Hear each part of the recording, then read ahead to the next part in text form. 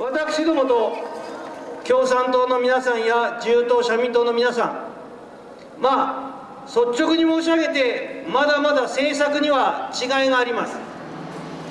それぞれの政策について真摯に向かい合って話し合って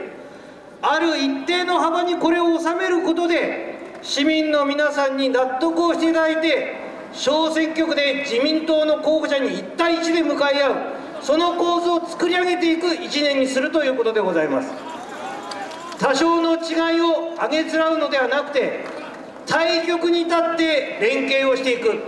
この態道に立つことを皆さんは求めておられるんではないかと私は思っております。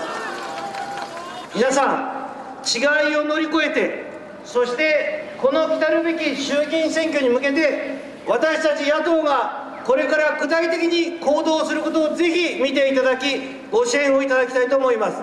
そしてもう一つ最後に皆さん一人区でちゃんと小選挙区協力の体制作りますからそしたら応援団になってくださいね。